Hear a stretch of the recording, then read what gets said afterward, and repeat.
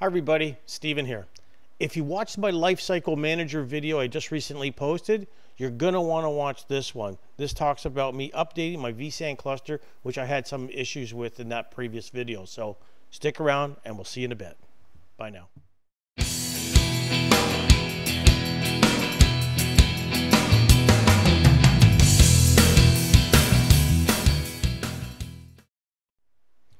Okay, thanks for sticking around. Why don't we jump to it? And I'll just throw this out there. Hey, support the channel by subscribing. I'd really appreciate that. Thumbs up, all that wonderful stuff. Let's jump into this right now. So, in my other video there, if you haven't seen that, the Life Cycle Manager video, uh, you want to click on whatever the link up there. Okay, so you definitely want to watch that uh, first as I was going through the video, you'll notice that my vSAN cluster wouldn't update, wouldn't remediate, okay? Uh, and I got errors on it. So I just actually did a, another one here, and you'll actually see I got some errors. It says my vSAN health test, SCSI controller, all that type of stuff. So it's saying the health of the vSAN clusters, it's not healthy. Why is that? It's because I'm in a nested environment. I'm running unsupported hardware. So if this was a production environment, I would be concerned if I was getting hardware incompatibility issues in the vSAN cluster. Uh, this is my lab environment, who cares? So how can I uh, manage to remediate this, right? So I'm gonna go to my vSAN cluster, I'll click on that, I'm gonna go to monitor, I'm gonna go into, um, where is it, Skyline Health, and then we'll just wait for that to load up. And you'll see, again, there's a little red bar there, right? So there are some uh, unhealthy components here. There's two of them, right? My SCSI controller is VMware certified, vSAN Max component size, right? So it's telling me, again, these things are not supported, right? I'm going to click on silent alarm. I'm to say yes. I'm going to do the same thing with this one, silent alarm, and then yes. So you'll notice now, I get under unhealthy, I've got not, it's zero, but I've got some alarms that are silent.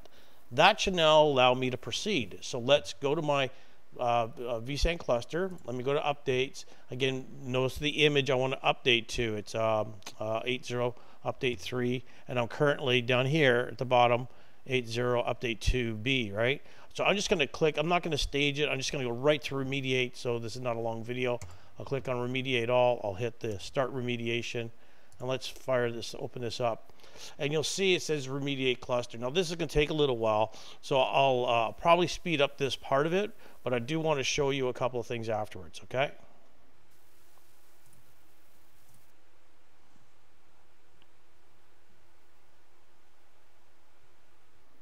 So right now you see it's actually going through checking compliance, doing a few other things here. What do I want to, I'm looking for something in particular here. So I'm just kind of waiting. Uh, I can expand this over here if I want to see some more information. Okay. Starting remediating host 3, right? So notice it's, um, let's, let's see what we got here. Okay. Notice it migrated a VM here. Uh, it entered maintenance mode migrated a VM, and then it will go into maintenance mode. Notice it says enter maintenance mode, and it's there. It's done. Now you see host 3 is in maintenance mode, and it's starting to install the image on host 3. So hopefully you can see that. So what's going to happen here is you'll notice I actually had some VMs running, and it actually did a vMotion migrate. Uh, uh, it migrated this app VM because I have distributed resource scheduler enabled and in fully automated mode on this cluster, when it needs to update one of the hosts, it picked host three in this case, and says, okay, I'm gonna put this host into enter maintenance mode. So once it did that, what will happen, it will sit in enter maintenance mode until all the VMs are migrated off that host. Because I got DRS fully automated, it migrated that VM off of it to one of the other hosts. I don't care which one. And it's now applying the patch, okay, or the or the image. Notice it's still in maintenance mode. Notice it's not responding right now. So it's actually gonna notice this head up here, started to reboot the host. So it's rebooted the host and it should come back. Okay. Once it comes back, it should exit maintenance mode and then it will look at uh, doing uh, patching another host, maybe host two or host one, and it will repeat that process. So I'll probably speed this little piece up for you as well.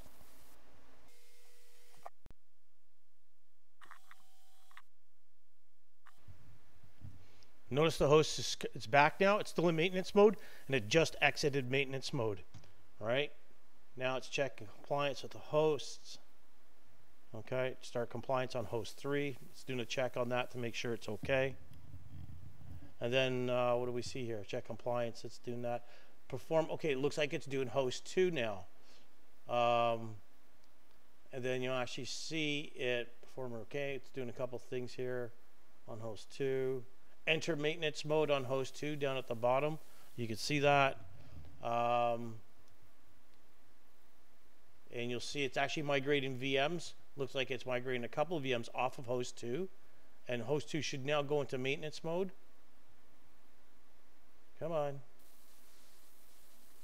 And there we go. And now it's going to start installing the image.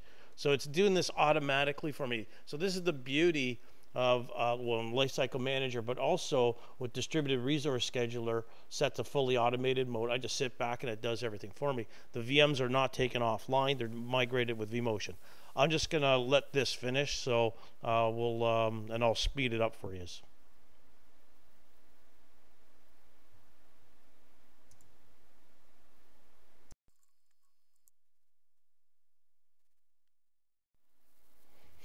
Okay, we can see that it's finished now. Uh, so that was pretty straightforward. We see all hosts are all compliant. So all at, they're all at 8.0 update 3, which is great. So the main uh, takeaway on this, folks, if you've got a vSAN cluster and you're using Lifecycle Manager, it's not going to let you update in your host if there's a problem with your cluster. And when you think about it, that makes sense, right? Fix the issue, then look at your updates, okay? Um, and again, in my environment, it's because I had unsupported hardware. I had to clear that. In a production environment, uh, if I seen that, I would be concerned. All right. Uh, but that's it. I, I, hope you enjoyed it. It was just a, an update from that vSAN video. If you haven't seen that, uh, sorry, the Lifecycle Manager video. If you haven't seen that, you're going to want to watch it. I'll leave it there, link there, and uh, leave comments and questions down below. Anything in particular you want to see, let me know, and I'll do my best on doing that. Have a great day. See you in the next one. Bye now.